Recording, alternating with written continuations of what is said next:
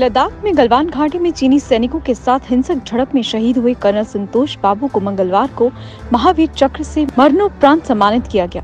राष्ट्रपति रामनाथ कोविंद ने संतोष बाबू की माता और पत्नी को वीरता पुरस्कार सौंपा।